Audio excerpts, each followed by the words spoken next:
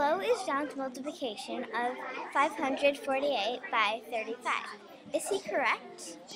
To figure out if he's correct, we are going to multiply um, 8 times 5, which is 40. So we're going to carry the 4 and then put the 0 down in the 1's place. Then next we are going to multiply the tens. 4 times 5 is 20 plus the 4 carryover. So that is 24. Then we're going to multiply 5 times 5.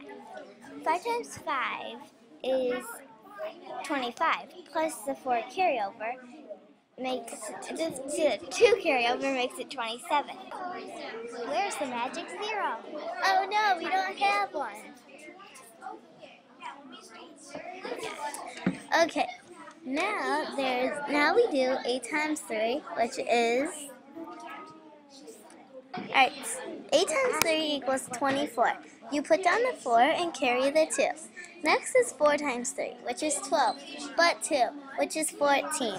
You would put down the 4 and carry the 1. Now it's 5 times 3, which is 15, plus the 1, which equals 16. Now you would put 16, and now the answer is 1,644. But wait, he forgot the 0.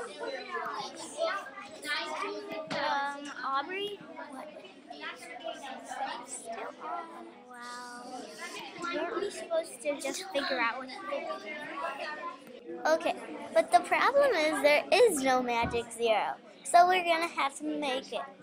Now, the real answer would be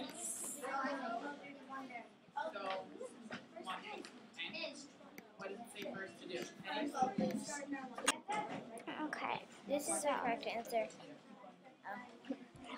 We've got um, 3 times 8, which would be 24. So we put the 4 right here. And then we put the 2 right here. And then 3 times 4 will be 12, plus the 2 will be 16.